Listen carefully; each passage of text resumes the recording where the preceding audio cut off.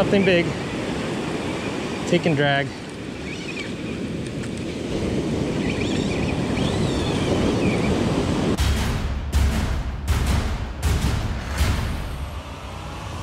Hook to Cook. He's a Central Coast surf fisherman. Hook to Cook will commence. Welcome back guys. Today we're gonna see if perch are like largemouth bass and if they'll eat right before a storm.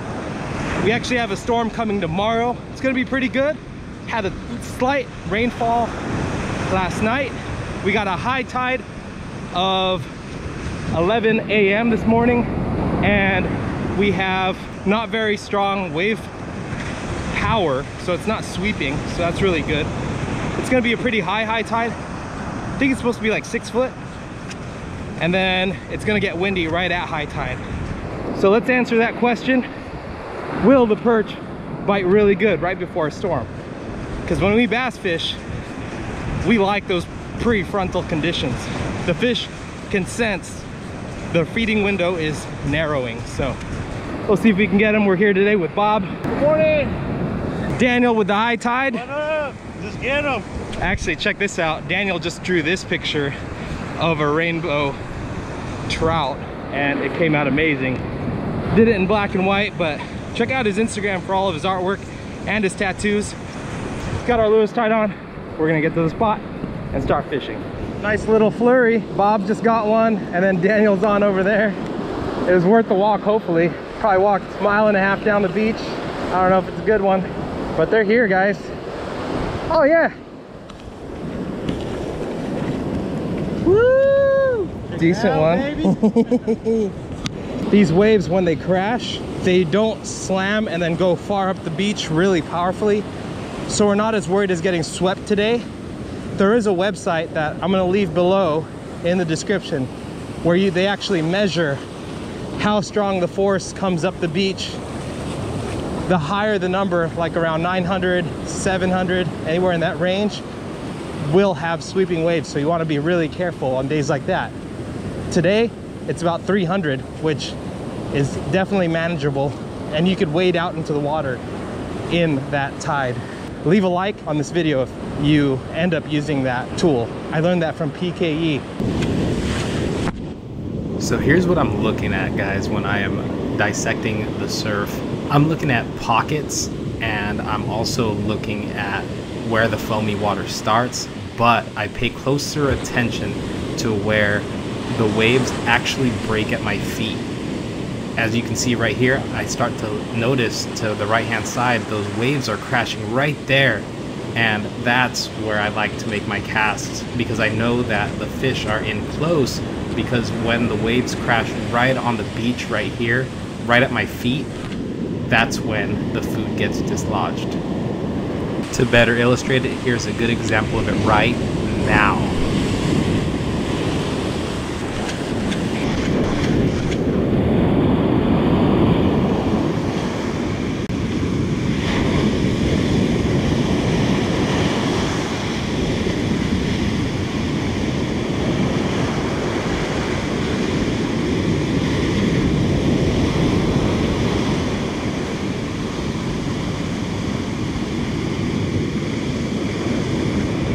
Finally. Still on? Oh finally. I just switched up the colors. I've been fishing for a while now. Finally got one. First BSP of the day. Finally. Not going home empty handed today guys. Oh or maybe i will. Oh man i've been grinding. I've been fishing two hours and nothing finally got one. I've been throwing the sardine glow this whole time and uh, that thing was not producing. Finally switched to the metallic or like the chrome chrome sardine or anchovy and uh, finally got a fish. Yeah this is the one that i got that on. It's like a blue blue and chrome like an anchovy Maybe that's what they want and it hit close. Maybe the bite's gonna turn on now, now that it's about two hours from high tide.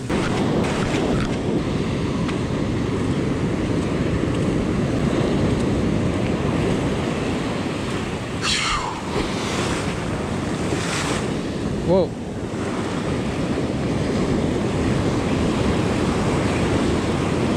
Perch number two on that blue anchovy. Hit really close.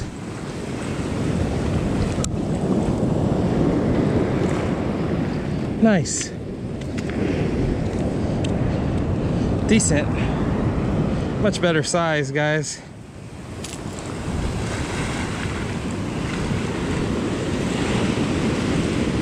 Good fish.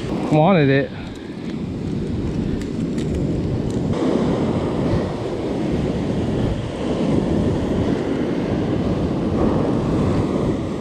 Let's go. Yeah, it's peak high tide in about an hour.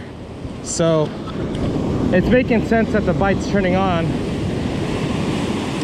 So it's 10 o'clock and peak high tide is at 11, but we started fishing around seven.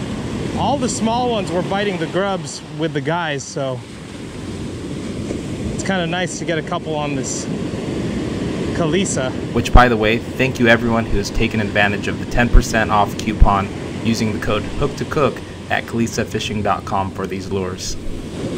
So, so far at this location, it seems that the big ones must be deeper. They must be feeling that storm coming in. But I have caught perch in conditions where it's actually even raining. So it was just a good record to see how the bite was today and helps you kind of put together a whole pattern. Speaking of putting together patterns, we do put all of our videos in playlists according to what month they were filmed.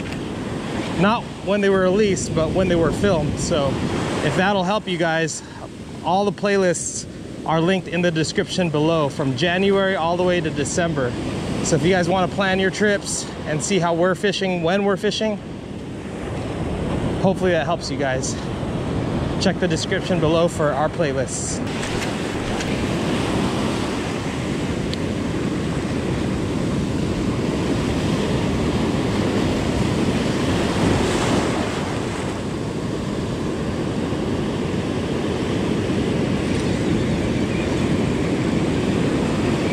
Something big. Take and drag.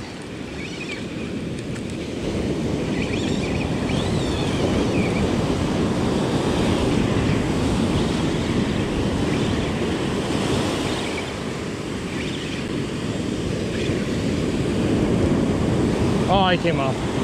What I snag? Bent out my hooks. I knew I should have changed them. Dang.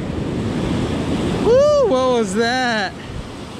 Oh, dang it. I went against my own advice. I usually tell everyone to switch out the hooks. That's a heartbreak. I wanted to see what that was. But look at the number it did on those hooks. What was that thing? Switch out your hooks, guys. Switch them out. This is actually a very frequently asked question. What hooks do you switch out to? I removed the middle treble and swapped the other two with size 4, 4X strong VMC hooks. I found a really good deal of $10 for 25 of them and put a link in the description of this video. And this, ladies and gentlemen, was why I don't like using stock hooks. Because stuff like that happens. Would have been cool to see that fish. Whatever it was. Had to borrow from another lure. Let's get back at it. There you go. Oh!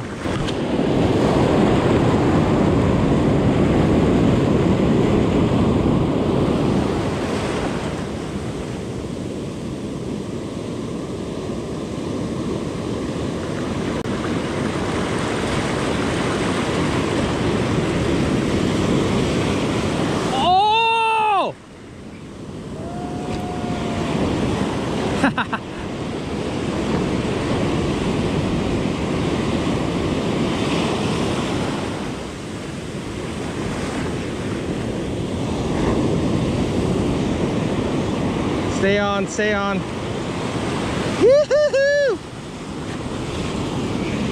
Not the biggest, but yeah. All right, yeah, it's it's still ow, still about 20 20 minutes before high tide. There we go. I missed one this the cast right before this. They're getting better, upgrading. It's fish number three. She's a beaut. The guys are all right there. Bob called and he's like, we're getting them on every cast, but just small ones. So wherever there's small ones, there should be some bigger ones mixed in. So guess we just found out.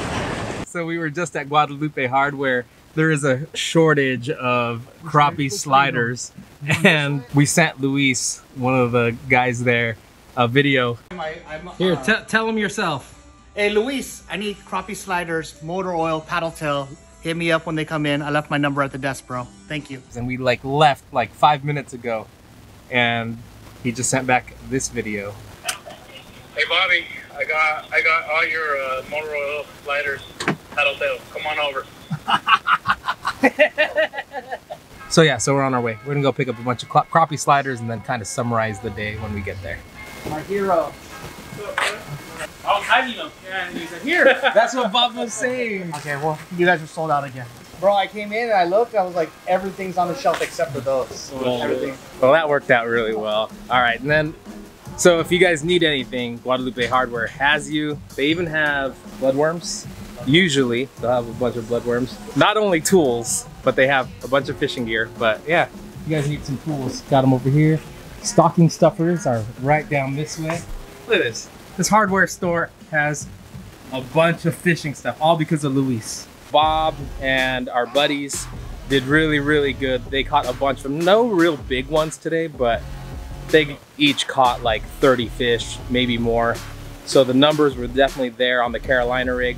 I committed to throwing the Calissa today and ended up getting three and missed a really, really good one.